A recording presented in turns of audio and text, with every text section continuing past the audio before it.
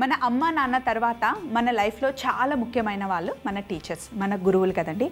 మనం మంచి స్టేజ్లో ఉన్నామనుకోండి ఫస్ట్ మీ అమ్మ నాన్న ఎవరు తర్వాత మీ టీచర్ ఎవరు అని అడుగుతారు. ఎందుకంటే మనం బాగుపడాలి మంచి స్టేజ్కి రావాలని మన అమ్మ నాన్న ఎలా అనుకుంటారో మన గురువులు కూడా అలాగే అనుకుంటారు. మనం ఎక్కే ప్రతి మెట్టు వెనకాల వాళ్ళ కష్టం ఉంటుంది. ఎక్కడికైనా వెళ్ళినప్పుడు మన టీచర్స్ గురించి మనం ఎంత గర్వంగా చెప్పుకుంటామో అలాగే మన టీచర్స్ కూడా స్టూడెంట్స్ గురించి అంతే గర్వంగా చెప్పుకుంటారండి. మరి ఈరోజు మా గురువులందరికీ నా సైడ్ నుండి థ్యాంక్స్ చెప్తూ చాలా గర్వంగా గురువులందరికీ హ్యాపీ టీచర్స్ డే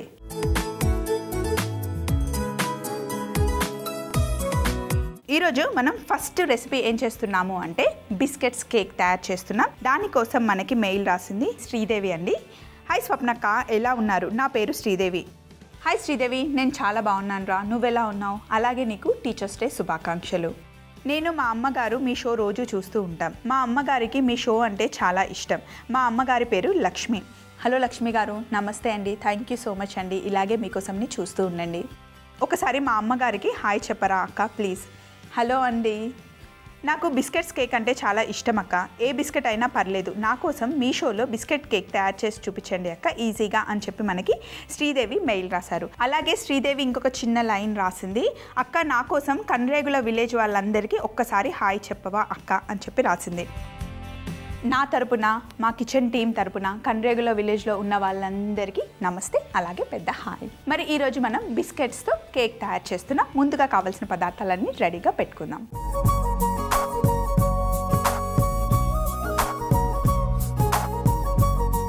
ఈరోజు మనం ఓరియో బిస్కెట్స్తో కేక్ తయారు చేస్తున్నాం. చాలా సింపుల్గా. అస్సలు కేక్ చేయడం రాని వాళ్ళు ఇప్పటివరకు కేక్ చేయడానికి ట్రై చేయని వాళ్ళు కూడా ఈ కేక్ని ఈజీగా చేసేయచ్చు అనమాట వెరీ సింపుల్ ఇంగ్రీడియంట్స్తో మనం ఇంట్లో మంచి కేక్ తయారు చేసుకోవచ్చు.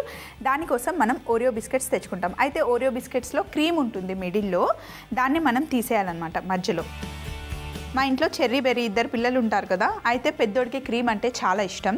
చిన్నోడేమో మధ్యలో ఉన్న క్రీమ్ తినడు. చిన్నోడి రెండు బిస్కెట్లు తింటాడు పెద్దోడికి ఆ క్రీమ్ ఇస్తాడనమాట పిల్లలు కొందరేమో క్రీమ్ని చాలా ఇష్టంగా తింటారు కొందరు అసలు క్రీమ్ తినరు.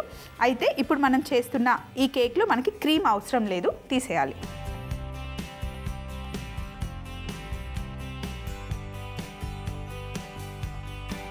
ఏ బిస్కెట్స్తో అయినా కేక్ తయారు చేయొచ్చు కానీ పిల్లలందరూ ఎక్కువ మటుకి ఓరియో బిస్కెట్స్ని ఇష్టపడతారు కాబట్టి ఈ బిస్కెట్స్తో చూపిస్తున్నాను.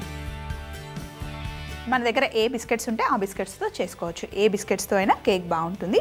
క్రీమ్ లేని బిస్కెట్స్ తెచ్చుకుంటే ఇంకా ఈజీగా పని అయిపోతుంది. బట్ పిల్లలు నో డౌట్గా ఓరియో బిస్కెట్స్ని చాలా ఇష్టంగా తింటారు. ఇందులో కూడా రకరకాల ఫ్లేవర్స్ వస్తాయి మనకి. స్ట్రాబెరీ ఫ్లేవర్ వస్తుంది వెనీలా ఫ్లేవర్ వస్తుంది మధ్యలో వైట్ క్రీమ్ వస్తుంది. డిఫరెంట్ బిస్కెట్స్తో అయినా కూడా ట్రై చేయొచ్చు. ఫస్ట్ మధ్యలో ఉన్న క్రీమ్ తీసేయాలి.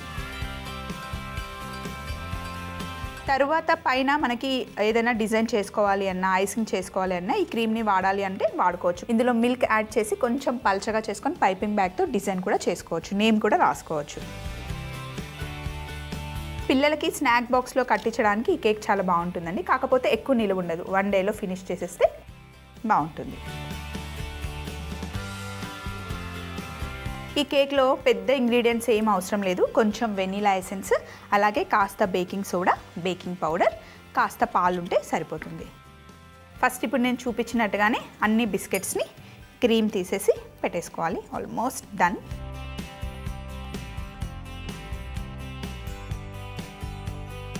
ఈ మధ్య పిల్లలకి స్కూల్లో కూడా కాంపిటీషన్ పెడుతున్నారు కదండి కుకింగ్ కాంపిటీషన్. ఈ రెసిపీ తీసుకోవచ్చు. ఎందుకంటే పిల్లలకి మంట లేకుండా ఏదైనా చిన్న కుకింగ్ చేయమని చెప్తున్నారు కాంపిటీషన్లో. ఇప్పుడు మనం అసలు స్టవ్ ఆన్ చేయం.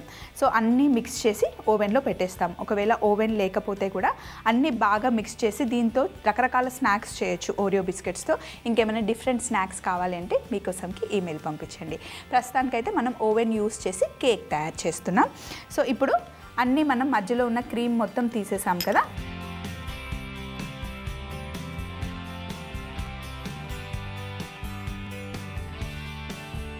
బిస్కెట్స్ అన్నీ ఇలా తీసేసిన తర్వాత ఒక జిప్లాక్ కవర్లో బిస్కెట్స్ అన్నీ వేసేస్తున్నాను.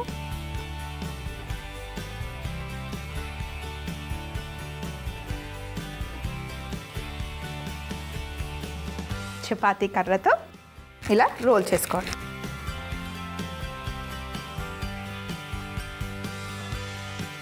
లోపల గాలి ఉందనుకోండి సరిగ్గా చేయడానికి రాదు.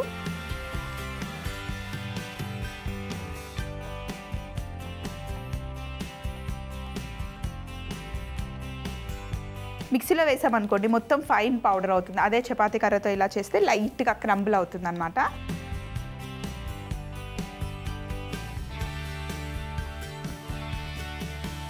డన్. ఇప్పుడు ఒక బౌల్ తెచ్చుకుందాం.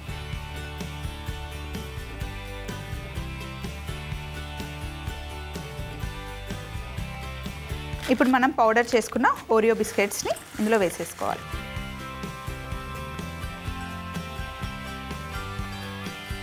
అలాగే ఇందులో చిటికెడు బేకింగ్ సోడా అలాగే ఒక రెండు చిటికెలు బేకింగ్ పౌడర్ వేసుకోవాలి.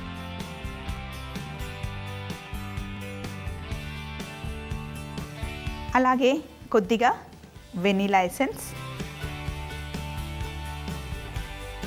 ఇవన్నీ బాగా మిక్స్ చేసుకున్న తర్వాత ఇందులో పాలు. ఆల్రెడీ కాచి చల్లార్చుకున్న పాలు. ఒకేసారి ఎక్కువ పాలు పోయకుండా కొంచెం కొంచెం కలుపుకొని చూసుకోవాలి. మరీ పల్చగా అయిపోయింది అనుకోండి. కేక్ బ్యాటర్ ఎలా తయారు చేసుకోవాలో అలా తయారు చేసుకోవాలి. ఇప్పుడు బాగా మిక్స్ చేయాలి.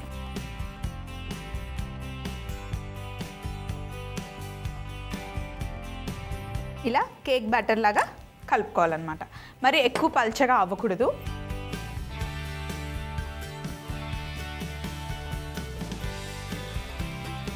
ఇప్పుడు బేకింగ్ ట్రేలో కింద నేను బటర్ పేపర్ వేసి పెట్టుకున్నాను ఆల్రెడీ.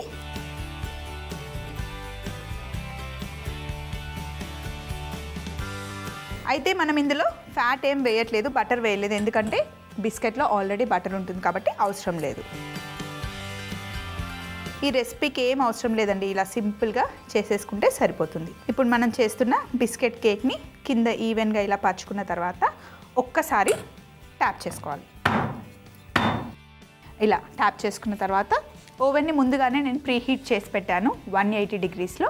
ఒక ట్వంటీ మినిట్స్ బేక్ చేసుకుంటే చక్కగా బిస్కెట్ కేక్ రెడీ అయిపోతుంది. బట్ ఎప్పుడైనా సరే బేకింగ్ చేసేటప్పుడు మనం బిస్కెట్స్ని బేక్ చేసినా కేక్ని బేక్ చేసినా సరే ముందుగానే ఓవెన్ని ప్రీ హీట్ చేసి పెట్టేసుకోవాలన్నమాట. అప్పుడే వేడి సమానంగా పరుచుకుంటుంది. సో ఇప్పుడు ప్రీ హీట్ చేసి పెట్టుకున్న ఓవెన్లో ఆల్రెడీ ఇరవై నిమిషాలు నూట ఎనభై డిగ్రీలలో నేను సెట్ చేసి పెట్టాను. ట్వంటీ మినిట్స్ అయింది బిస్కెట్ కేక్ రెడీ అయిపోయింది. ఇప్పుడు మనం ఓవెన్లో నుండి బయటకు తెచ్చేసుకుందాం.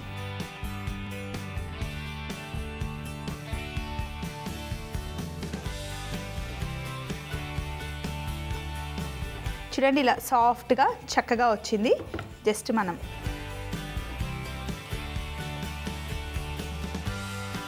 సో ఫస్ట్ కింద బటర్ పేపర్ తీసేయాలి. ఎంత బాగా వచ్చింది చూడండి కేక్. ఇప్పుడు పైన కొంచెం ఐషింగ్ షుగర్ వేసుకుందాం.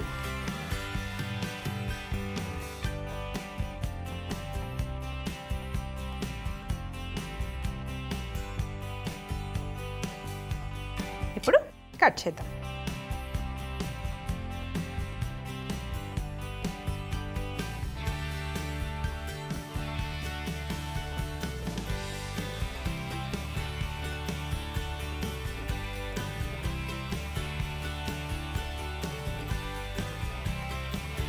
చూడండి ఎంత సాఫ్ట్గా ఉందో.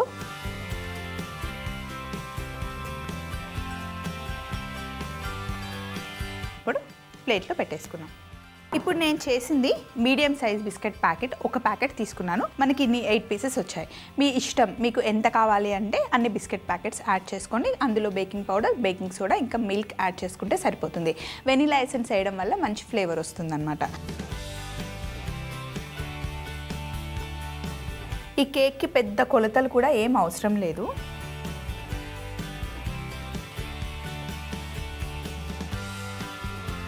కేక్ చూసారా? ఎంత సాఫ్ట్గా ఉందో.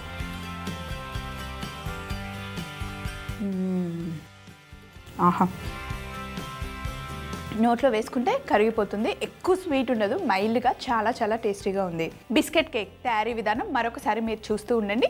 నెక్స్ట్ రెసిపీకి కావాల్సిన పదార్థాలన్నీ నేను రెడీగా పెట్టుకుంటాను బిస్కెట్ కేక్ తయారీ విధానం ముందుగా ఒక బౌల్లో క్రీమ్ తీసేసిన ఓరియో బిస్కెట్స్ని పౌడర్ చేసుకొని వేసుకోవాలి. అలాగే అందులో చిటికెడు బేకింగ్ సోడా రెండు చిటికెల బేకింగ్ పౌడర్ వెనీలా ఎసెన్స్ తగినంత పాలు వేసి బాగా కలుపుకొని కేక్ బ్యాటర్ తయారు చేసుకోవాలి. ఇలా తయారు చేసుకున్న కేక్ బ్యాటర్ని బటర్ పేపర్ ముందుగానే వేసి పెట్టుకున్న బేకింగ్ టిన్లో వేసుకొని నూట ఎనభై డిగ్రీ వేడిలలో పదిహేను నుండి ఇరవై నిమిషాలు బేక్ చేసుకుంటే ఎంతో టేస్టీ అయిన బిస్కెట్ కేక్ రెడీ అవుతుంది. ఇలా తయారు చేసుకున్న బిస్కెట్ కేక్ పైన ఐసింగ్ షుగర్తో గార్నిష్ చేసుకుని మనకి ఇష్టమున్న పీసెస్ కట్ చేసుకుంటే సూపర్గా ఉంటుంది. మనం ఈ రోజు రెండో recipe Nanking style chicken pakodi తయారు చేస్తున్నాం. అయితే నాన్ కింగ్కి వెళ్ళి నేనైతే తినలేదు బట్ తెలిసిన వాళ్ళ దగ్గర అడిగి తెలుసుకున్నాను. టేస్ట్ చాలా చాలా బాగుంటుంది.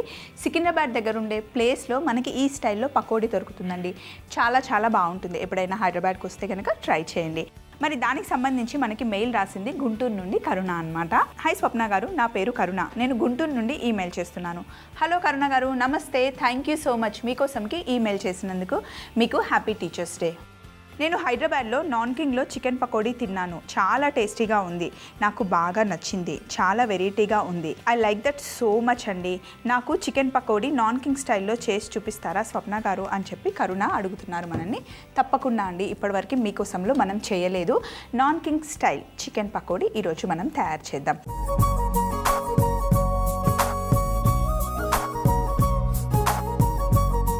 చికెన్ పకోడీని చాలా చాలా రకాలుగా చేస్తారండి. తెలంగాణలో ఒక రకంగా మద్రాస్ వెళ్తే కనుక చెన్నైలో ఒక రకంగా బెంగళూరు వెళ్తే ఒక రకంగా హైదరాబాద్లోనే రకరకాల ప్లేసెస్లో రకరకాల స్టైల్లో చికెన్ పకోడీ సర్వ్ చేస్తూ ఉంటారు. ముఖ్యంగా నాన్ కింగ్ స్టైల్లో దొరికే పకోడీ నిజంగా చాలా బాగుంటుంది. చాలామంది ఇష్టపడతారు. చూసారా? గుంటూరు నుండి వచ్చిన కరుణ గారికి కూడా చాలా నచ్చిందంట. సో మరి కావాల్సిన పదార్థాలన్నీ నా దగ్గర రెడీగా ఉన్నాయి. ఫస్ట్ మనం ఏం చేయాలి అంటే ఒక బౌల్లో చికెన్ని బోన్లెస్ చికెన్ తీసుకొని దాన్ని పేస్ట్ చేసుకోవాలి. మనం మిక్సీలో వేసేస్తే చక్కగా పేస్ట్ అయిపోతుంది.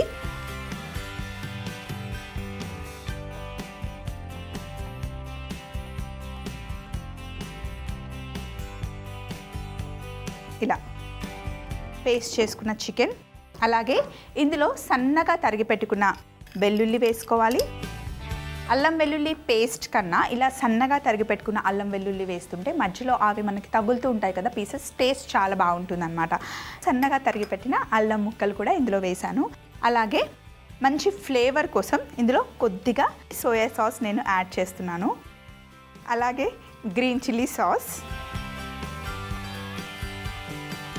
అలాగే రెడ్ చిల్లీ సాస్ వేసాను ఇవి రెండు టేస్ట్ డిఫరెంట్గా ఉంటాయి అండ్ చాలా స్పైసీగా ఉంటాయి.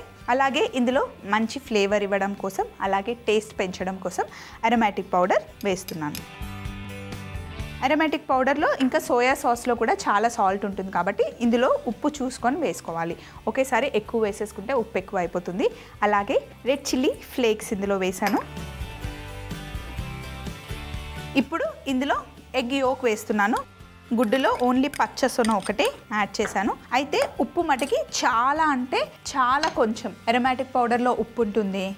అలాగే సోయా సాస్లో ఉప్పు ఉంటుంది కాబట్టి జస్ట్ చిటికడే ఉప్పు వేశాను. ఇవన్నీ వేసి ఒక్కసారి ఫస్ట్ మిక్స్ చేసేద్దాం. అలాగే ఇందులో బ్రెడ్ క్రమ్స్ వేసేసాను. బ్రెడ్ క్రమ్స్ ఎంత వేయాలి అంటే మనం రౌండ్ బాల్స్ చేసుకోవడానికి వచ్చేలాగా బ్రెడ్ క్రమ్స్ వేసుకోవాలన్నమాట. ఇందులో నేను వంద గ్రాముల చికెన్ పేస్ట్ వేసుకున్నాను. అందులో దానికి సరిపడా బ్రెడ్ క్రమ్స్ చేసి పెట్టేసుకొని కొంచెం కొంచెం వేసి కలుపుకున్నా కూడా ఓకే. బాగా మొత్తం మిక్స్ చేసుకోవాలి.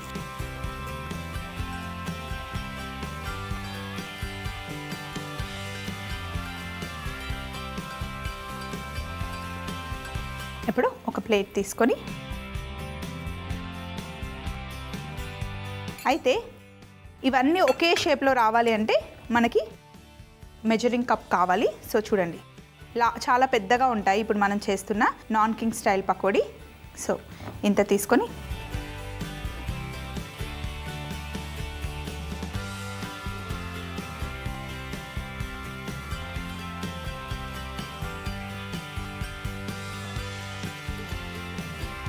కొంచెం నూనె ఉంటే కనుక ఈజీగా వచ్చేస్తుంది.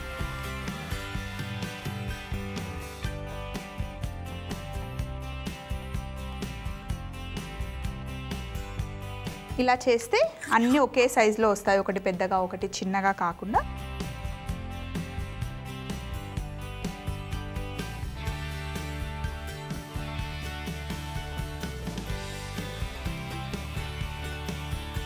ఇప్పుడు కరెక్ట్గా రౌండ్ బౌల్ చేసుకోవాలి.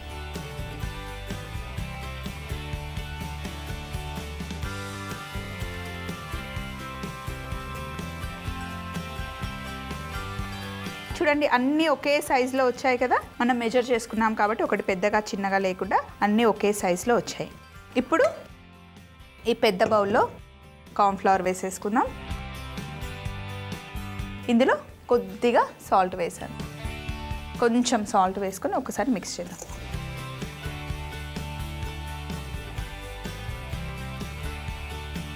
ఒక్కొక్క బాల్ని తీసుకొని ఇలా రౌండ్గా ఉన్న బాల్ని తీసుకొని ఇలా ఎగ్లో ముంచిన తర్వాత కార్న్ఫ్లవర్లో వేసేయాలి.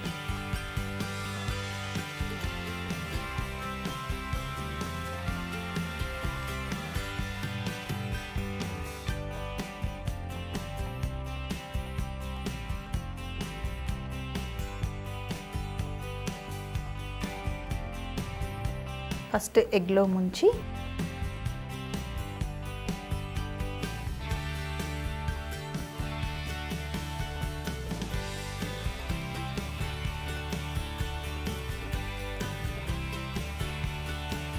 కార్న్ఫ్లవర్ ఎక్కువగా ఉంటే హ్యాండ్తో ఇలా అంటే కనుక కార్న్ఫ్లవర్ వెళ్ళిపోతుంది షేప్ కూడా కరెక్ట్గా వస్తుంది మనకి.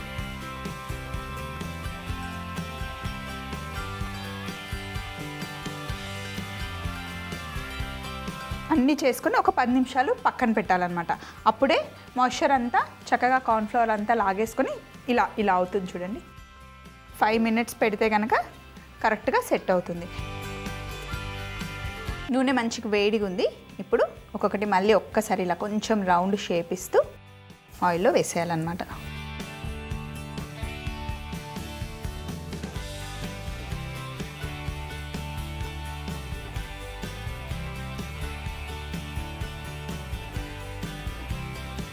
మంటలో మెల్లిగా కుక్ చేయాలన్నమాట. మినిమం ఒక ఆరు నిమిషాలైనా పడుతుంది. ఎందుకంటే మనం రౌండ్గా పెద్ద సైజులో చేసాం లోపల కూడా బాగా కుక్ అవ్వాలి కదా. ఒక సిక్స్ మినిట్స్ వెయిట్ చేయాలి. మంచి కలర్ వచ్చే వరకు కుక్ చేసుకోవాలి.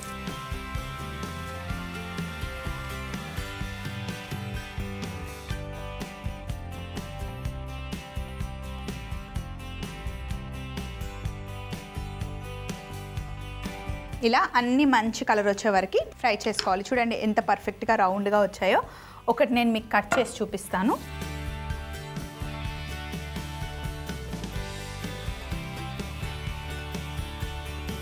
పైనంతా క్రిస్పీగా ఉంటుంది లోపల మటుకి సాఫ్ట్గా ఉంటుంది. ఇలా చక్కగా పర్ఫెక్ట్గా లోపల కుక్ అయిపోవాలి. చాలా కలర్ఫుల్ ప్లేటింగ్ ఇక్కడ నేను రెడీ చేసుకున్నాను. ఇప్పుడు ఒక్కొక్కటి ఇందులో పెట్టేద్దాం.